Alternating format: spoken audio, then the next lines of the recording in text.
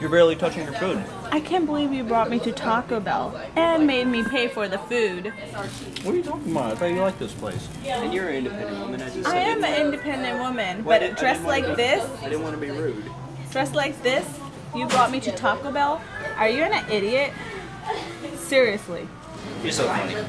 I'm not joking. This is serious. You have fun by yourself.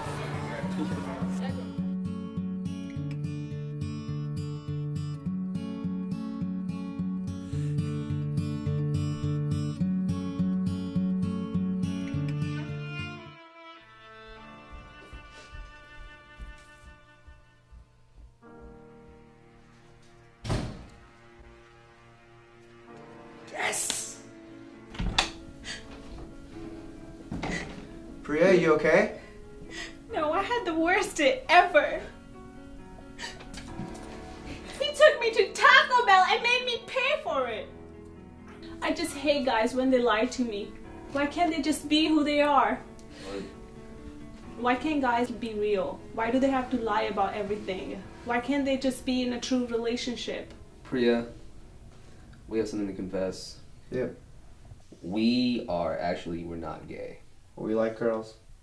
This this is this is all it's all fake. We're It's not all a show. It's all a show. We did this so we can live with you. We had no place to stay, and We really, really liked you.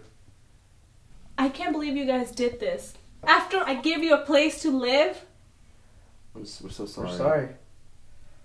I treated you as my friends. Best friends. We're guys. What can we say? Just get out of my house. At first, it was just Okay, enough. Can you give us some time to No! explain?